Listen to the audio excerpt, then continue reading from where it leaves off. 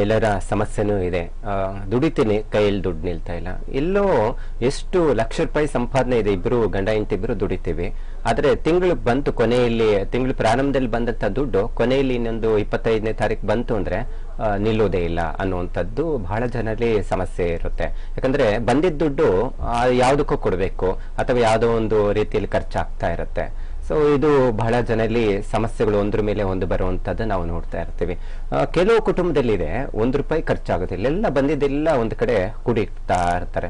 ನೋಡಿ, ಅವ್ರಿಗೂ ಮತ್ತೆ ನಿಮ್ಮ ಜಾತಕದಲ್ಲಿ ನಾವು ನೋಡಿದಾಗ ಕೆಲವು ಯೋಗಗಳು ಅಂತ ಕೆಲಸ ಮಾಡುತ್ತೆ. ಈಗ ಸಾಮಾನ್ಯವಾಗಿ ಸರಸ್ವತಿ ಯೋಗ ಅಂತ ಹೇಳ್ತೀವಿ.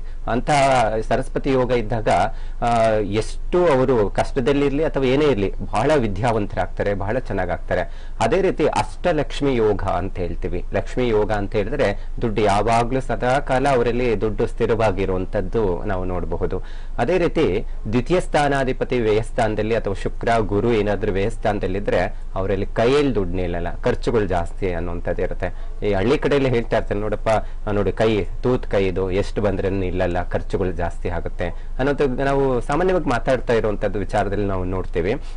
ಆದರೆ ಯೋಗಗಳು ಯಾವ ರೀತಿ ಕೆಲಸ ಮಾಡುತ್ತೋ, ದುಡ್ಡಿನ ವಿಚಾರದಲ್ಲಿ ಸಹ ದುಡ್ಡು ಕೈಯಲ್ಲಿ ನಿಲ್ಲಲ್ಲ, ಖರ್ಚುಗಳು ಜಾಸ್ತಿ ಆಗ್ತಾ ಇದೆ ಅನ್ನುವಂಥದ್ದು ಸಹ ಈ ಯೋಗಗಳಕ್ಕೆ ಪೂರಕವಾಗಿರುವಂತಹ ಗ್ರಹಗಳ ಪ್ರಭಾವನೂ ಕೆಲಸ ಮಾಡುವಂಥದ್ದು ಇರುತ್ತೆ ಜ್ಯೋತಿಷ್ಯ ಶಾಸ್ತ್ರದಲ್ಲಿ ಒಂದು ಗ್ರಹಗಳ ಪ್ರಭಾವ ಅಂತ ನಾವು ನೋಡಿದಾಗ ಒಂದು ಮನೆಯೂ ಸಹ ಪ್ರಮುಖ ಪಾತ್ರ ವಹಿಸುವಂತದ್ದು ಇರುತ್ತೆ. ಯಾಕಂತ ಹೇಳಿದ್ರೆ, ಯೋಗ, ಅಷ್ಟಲಕ್ಷ್ಮಿ ಯೋಗ ಇದ್ರೂ ಸಹ ಮನೆ ಸರಿಯಾಗಿ ವಾಸ್ತು ಪ್ರಕಾರವಾಗಿ ನಿರ್ಮಾಣ ಆಗ್ತಾ ಇಲ್ಲ ಅಥವಾ ಮನೆಯಲ್ಲಿ ಸಮಸ್ಯೆಗಳು ಇದೆ ಅಂತ ಹೇಳಿದ್ರೇನು, ಕೆಲವು ಮನೆಗಳಲ್ಲಿ ಅಭಿವೃದ್ಧಿ ಇರೋದಿಲ್ಲ. ಅಂತ ಮನೆಗಳಲ್ಲಿ ಸಹ, ಆ ಮನೆಗಳಲ್ಲಿ ಹೇಳಿಗೆ ಇರೋದಿಲ್ಲ. ಅಂತ ಮನೆಯಲ್ಲಿ ದುಡ್ಡು ಸಹ ಕೈಯಲ್ಲಿ ದುಡ್ಡು ನಿಲ್ಲಲ್ಲ.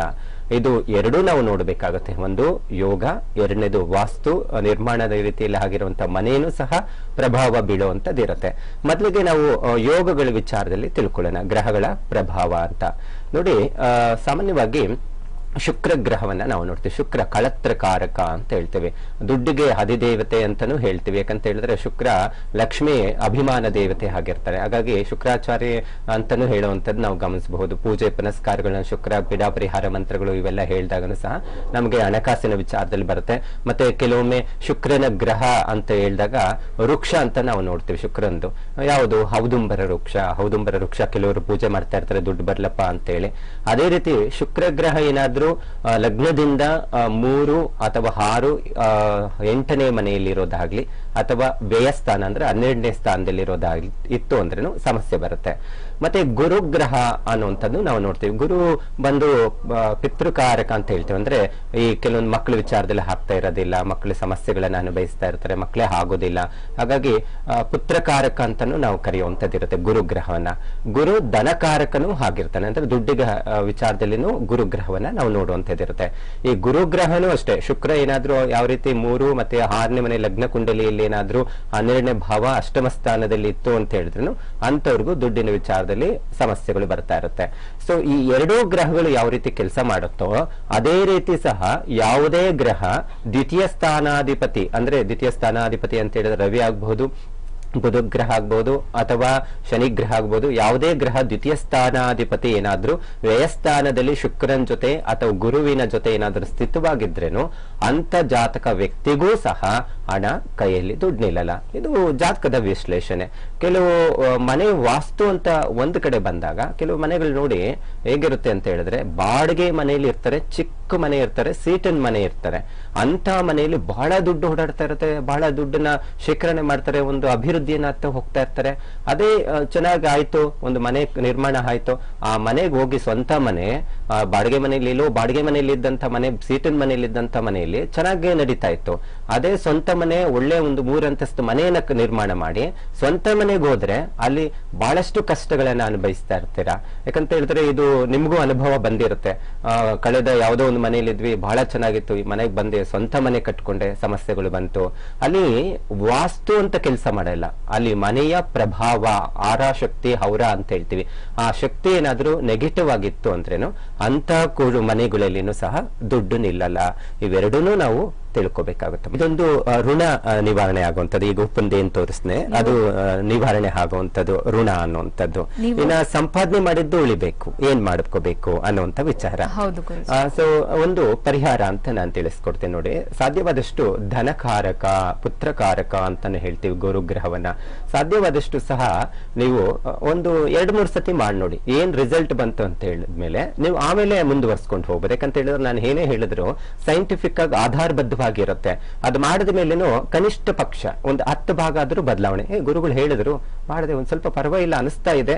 ಅನ್ನುವಂಥದ್ದು ಖಂಡಿತ ಬರುತ್ತೆ. ಏನ್ ಮಾಡ್ಕೋಬೇಕಂತ ಹೇಳಿದ್ರೆ, ಸ್ವಾತಿ ನಕ್ಷತ್ರ, ಸಾಕ್ಷಾತ್ ಲಕ್ಷ್ಮೀ ನರಸಿಂಹನ ಹುಟ್ಟಿರುವಂಥ ನಕ್ಷತ್ರಗಳು.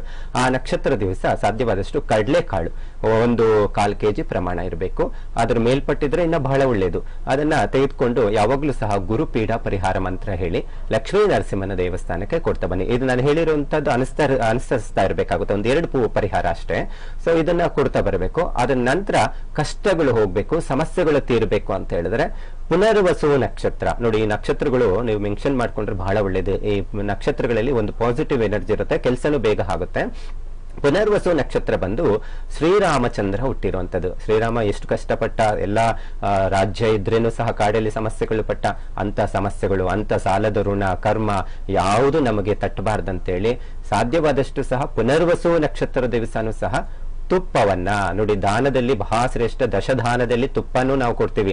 ಕೆಲವೊಂದು ಪಿತೃದೋಷಗಳು, ಪಿತೃಗಳಿಗೆ ಸಂಬಂಧಪಟ್ಟಂತಹ ತರ್ಪಣಾದಿಗಳನ್ನು ಕೊಡುವಂತಹದ್ದು ಸಹ, ಆ ದಿನಾನು ಸಹ ಈ ತುಪ್ಪವನ್ನ ದಾನ ಮಾಡ್ತೀವಿ.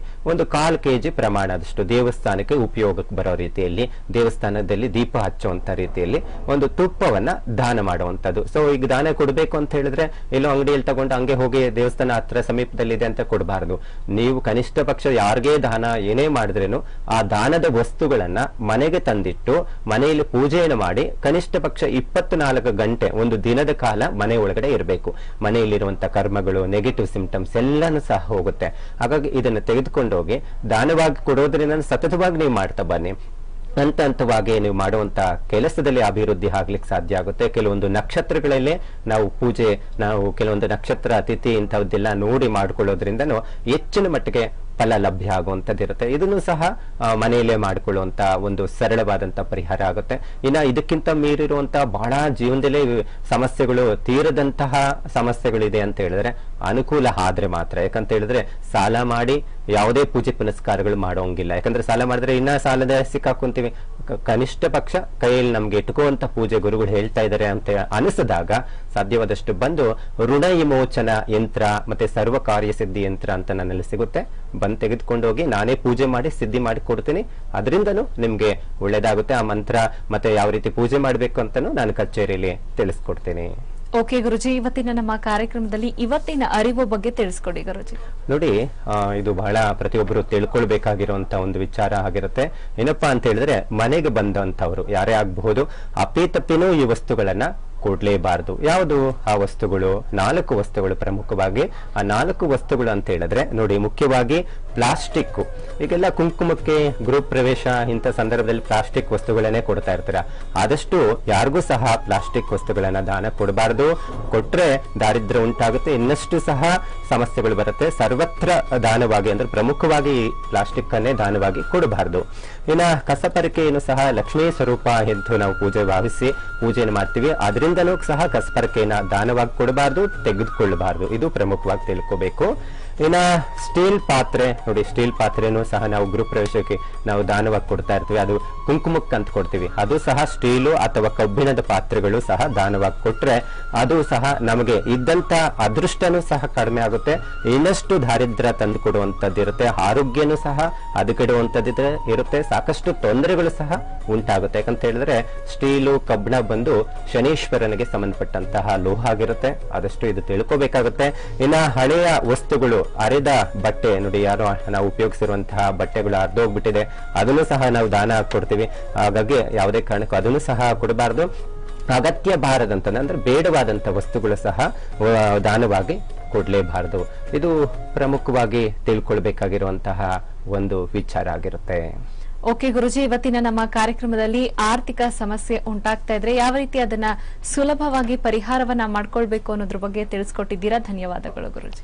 ಹರೇ ಶ್ರೀನಿವಾಸ.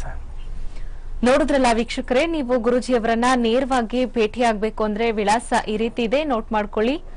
ಭಾರತೀಯ ಸಂಪ್ರದಾಯ ಟ್ರಸ್ಟ್ ನಂಬರ್ ನಲವತ್ನಾಲ್ಕು ಬಾರ್ ಒಂದು, ನಾಲ್ಕನೇ ಕ್ರಾಸ್ ಸಂಪಿಗೆ ರಸ್ತೆ ಮಲ್ಲೇಶ್ವರಂ, ಬೆಂಗಳೂರು. ಪ್ರತ್ಯಂಗಿರ ಹೋಮ ಹಾಗೂ ಯಂತ್ರಕ್ಕಾಗಿ ಸಂಪರ್ಕಿಸಿ ಎಂಟು ಒಂದು ಐದು ಒಂದು ಎಂಟು ಒಂದು ಎರಡು ಮೂರು ನಾಲ್ಕು ಐದು. ನೇರ ಭೇಟಿಗಾಗಿ ಮೊಬೈಲ್ ನಂಬರ್ ಒಂಬತ್ತು ಆರು ಒಂದು ಒಂದು ಒಂದು ಒಂದು ಒಂದು ಆರು ಆರು ಒಂದು. ವಾಟ್ಸ್ಆಪ್ ನಂಬರ್ ಎಂಟು ಎರಡು ಏಳು ಏಳು ಐದು ಏಳು ಐದು ಏಳು ಐದು ಏಳು. ಮೊಬೈಲ್ ನಂಬರ್ ಒಂಬತ್ತು ಒಂಬತ್ತು ಒಂದು ಆರು ಆರು ಆರು ಆರು ಐದು ಐದು ಐದು